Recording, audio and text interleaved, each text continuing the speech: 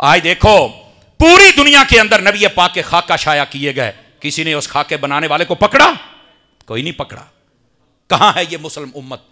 गजा पूरा तबाह कर दिया गया। खंडरात बन गया, कब्रिस्तान बन गया।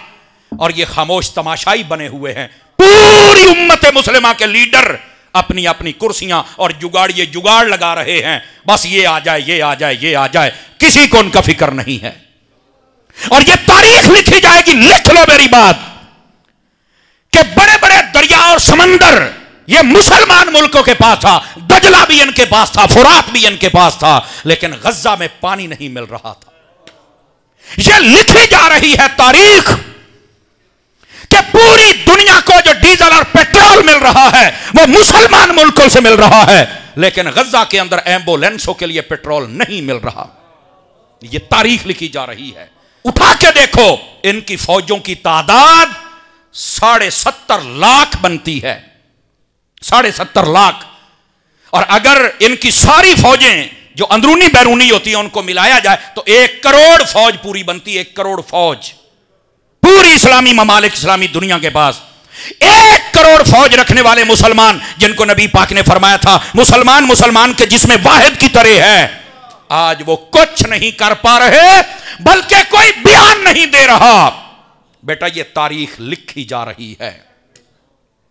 ये तारीख लिखी जा रही है कि आज कई मुल्क ये म्यूज़िक के फेस्टिवल करवा रहा है, मैच करवाए जा रहे हैं, लेकिन वो पैसा इन कमीनों पर खर्च किया जा रहा है। लेकिन गजा के उन यतीमों, मिस्किनों और बेघरों के लिए और बेपर्दा औरतों को नहीं दिया जा रहा।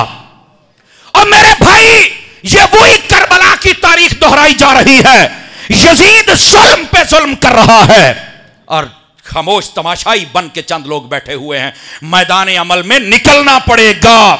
वरना याद रखो, आज जो चुप बैठे हैं दुनिया का जो भी मुल्क हो, कल तुम्हारा भी तमाशा बनने वाला है। लिख लो मेरी बात।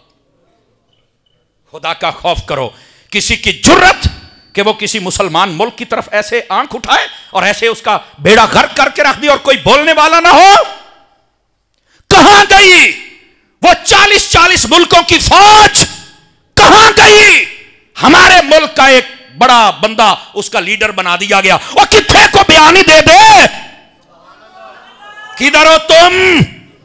तुम तो इस्लामी दुनिया को बचा ना सके।